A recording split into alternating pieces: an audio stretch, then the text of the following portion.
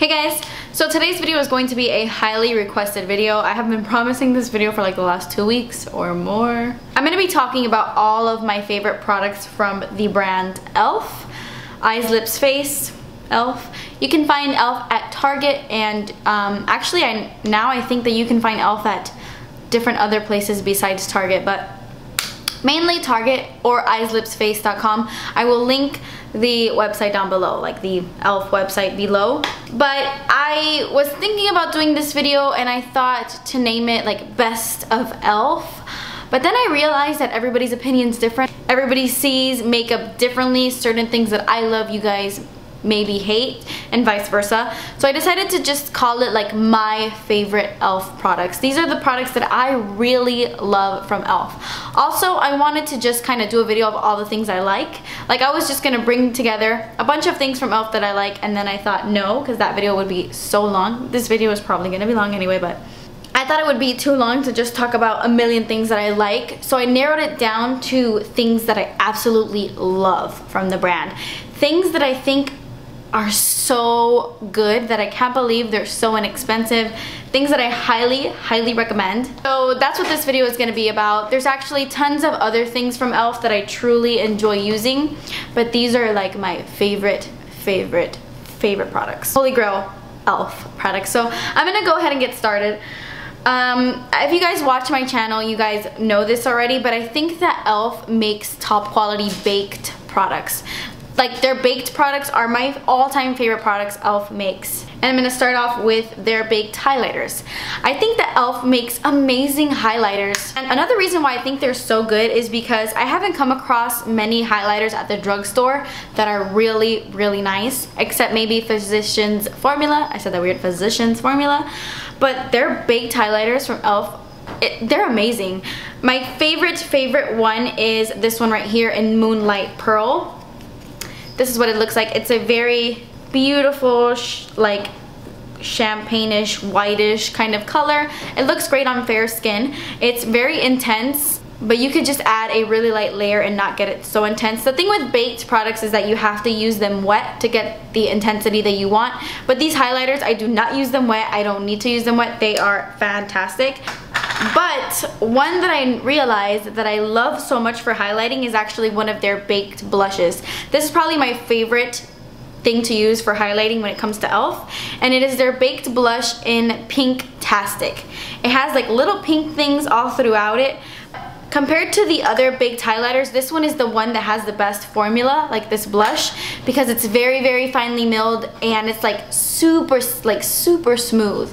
It's the highlighter I have on my face right now. I love this baked blush in Pinktastic. Their baked blushes are also really good um, if you're into like glowy cheeks. I also really love their baked bronzers. I don't have one to share with you because it's in my makeup bag in my purse because I use it on the go. I love it so much. But definitely check out their baked bronzers. They have a couple different shades and they are really good because they don't have glitter. They're like a matte, but since they're baked, it's like a nice glowy look without without adding a sheen if that makes sense by the way please excuse my hair oh my god it's so bad I, looking in the viewfinder I didn't realize it was this bad anyway more baked products I am crazy about are their baked eyeshadows now these things I do recommend using them wet just to get like the full intensity and they have a bunch of different colors. I have like the majority of them, but these are my two absolute favorites. This one is in Toasted, and it actually is a dupe for Urban Decay's eyeshadow in Toasted. I don't know if they did that on purpose, but this is a dupe for it. It's a beautiful, beautiful taupey, pinky color. I definitely recommend using this one wet. And the other one I really love is Burnt Plum. It's like a cranberry color, a little purpliness to it. It's really pretty. This one actually, I don't use wet. You can. It looks a lot better wet, but I use it dry. I actually have this in my crease dry. So when you use it dry, it just gives you like a really soft color. It's amazing. I really love these two. Definitely recommend these baked eyeshadows from e.l.f. They're amazing. The e.l.f. High Definition Under Eye Setting Powder. Now I don't use this in my videos. I don't think I've ever used this in one of my videos, but it's amazing. It's really, really good. At first I didn't like it because it has tiny little glitters in it and that just really threw me off. But it is really pretty and reflective underneath the eye. It's really nice to set your under eye concealer because it brightens up underneath the eyes. I don't know if you could tell, but it's good stuff. But if you're gonna use this to take pictures, I don't recommend it because it does kind of give like a little bit of a white cast because it is like that HD powder. But I find that for under the eyes, it doesn't really matter since you kind of want your under eyes to be bright. But this is really good stuff. I recommend this if you want a bright, beautiful, like glowing under eye setting powder. I am crazy about their pressed mineral blushes. I love them. I highly recommend them. I think they are amazing, amazing, amazing quality. These two are my absolute favorite. They have four, but these two are the best. This is Cabo Cabana and this one is Sweet Retreat. They're so good. They're very, very pigmented and they last a pretty good time on my cheeks. Like they are so pigmented. I am not a fan of their studio blushes. I know a lot of people like them. I'm not a fan. They're very powdery. They're kind of chalky. They don't last on my skin. Don't like them. But when you put your finger into this product, it's just so, so smooth. You know, there's no patchiness with this. It's a great e.l.f. blush, and it's a great blush in general. I recommend these 20 times over their studio blushes. If you're looking for a good, inexpensive blush, the mineral blushes are the, are the way to go. Staying with blush, I've tried every single one of these duos from e.l.f every single one and these are the two that I recommend the most. These are the two that are my favorite and it's actually Fiji the original their original duo where they tried to copy like NARS Laguna and NARS Orgasm. It was kind of like them copying it. This one is my favorite. They've come out with a bunch of other ones after this, but the original is hands down my favorite. This bronzer is very pigmented. You have to be crazy careful with it. Look at that, that is brown. But if you use a super, super light hand, um, like a stippling brush or something like that, then it's it's a really good bronzer, especially when you're tan, like in the summertime. Just dust this really lightly on the cheeks and it's a really nice bronzer. This blush is actually really, really nice too. Um, it's not my favorite because it does kind of have like that texture of those studio blushes. I really like the color and I like the undertone overall. And my other favorite one is actually Fiji as well, but the matte version. This is a newer release to e.l.f. They wanted to do a blush and bronzer duo that was completely matte and I love it. I love this blush for the fall time. This blush is actually very smooth.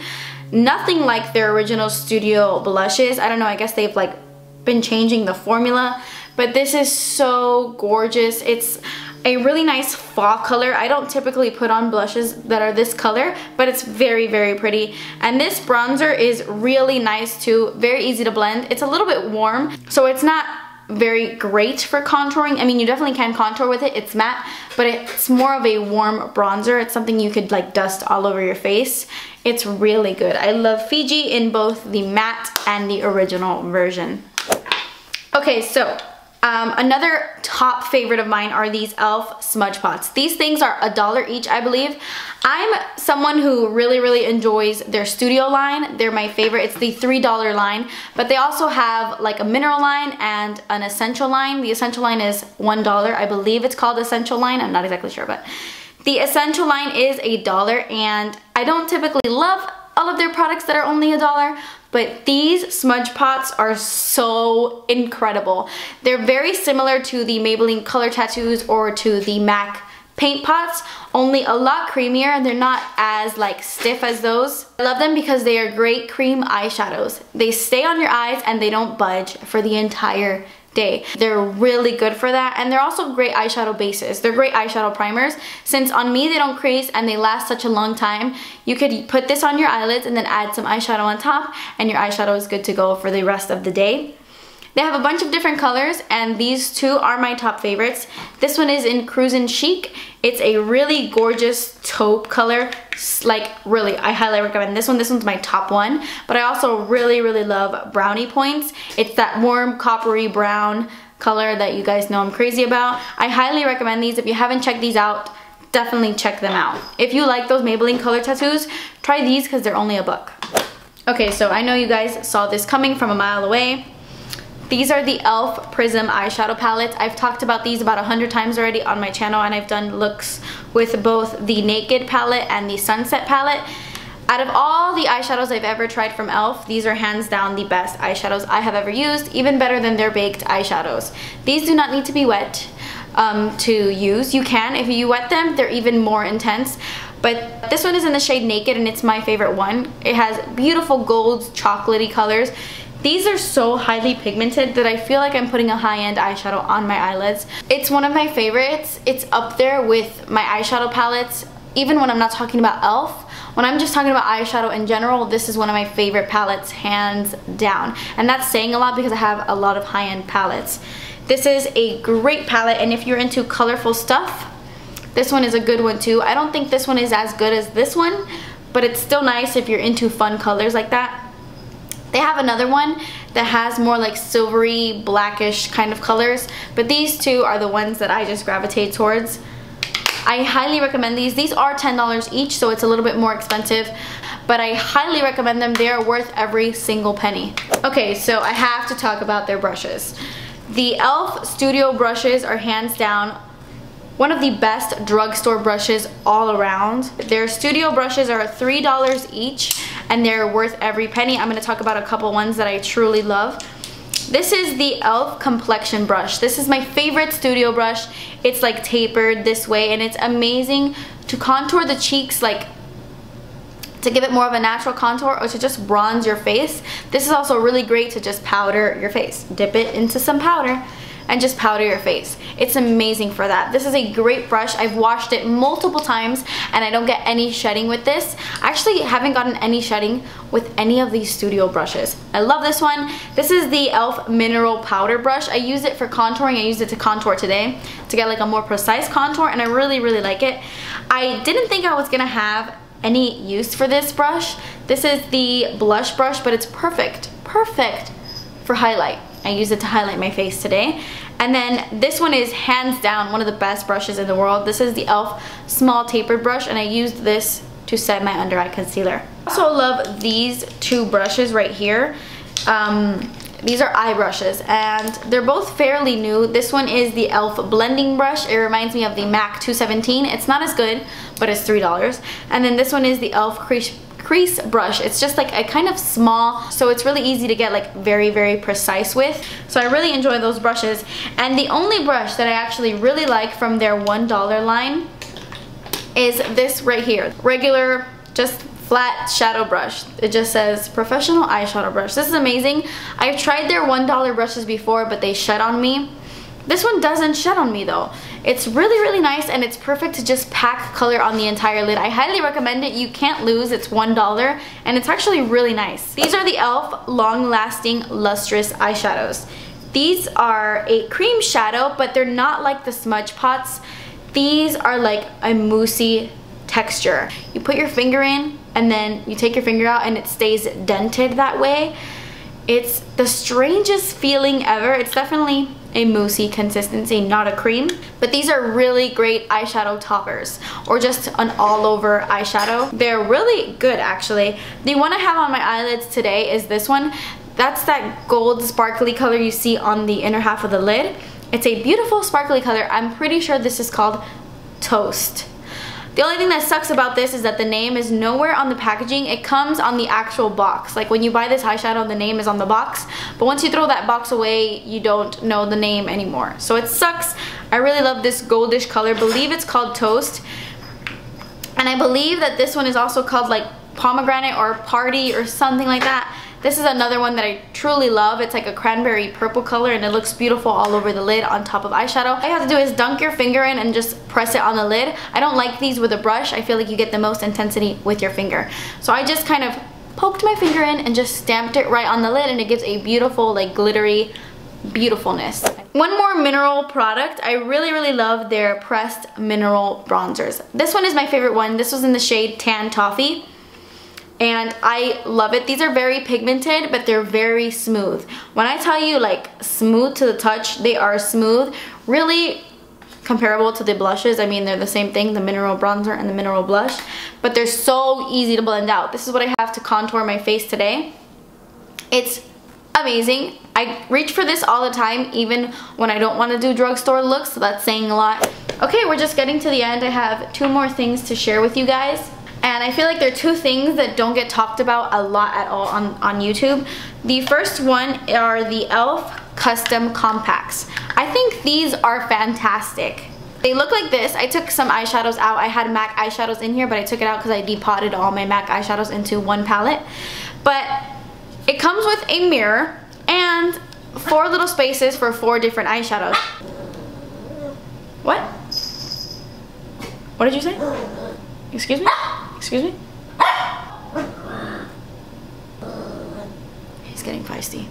He's getting really feisty. What's amazing about this is that it comes with the perfect size to put Makeup Geek eyeshadows, MAC eyeshadows. So I love using this for traveling because it comes with a pretty big mirror and whenever I want to make like a custom quad like okay um, let's say I'm going somewhere for the weekend I'm traveling and I don't need that many eyeshadows I'll just take four of my favorite Makeup Geek eyeshadows and I'll plop them right in here and then I have this to go. This is one dollar people one dollar and then the last thing I truly love and adore is the e.l.f. glitter primer. I believe this is also one dollar this is one of the best glitter primers I've ever used and it's a dollar. It's very comparable to the Too Faced glitter primer. It leaves your eyelids super tacky, which is what you want because if you're gonna apply a glitter on top, you want it to really, really stick so that you don't get fallout all over your face. This is very tacky, very sticky. You put it on your eyelids and the second you put anything on top, it sticks immediately. So it's perfect for pigments and glitter. If you have a pigment that you get a lot of fallout with, I highly recommend this e.l.f. glitter primer because you won't have fallout anymore, let me tell you. Okay guys, so that completes this video. I really wanted to just talk about the things that I love and adore holy grail products that I think are worth you checking out. Thank you for watching. I really hope you enjoyed this video. Leave a comment down below your holy grail e.l.f. product. Um, and yeah, uh, yeah. Thank you for watching, like I've already said. Please subscribe if you haven't already, and I will see you in my next video.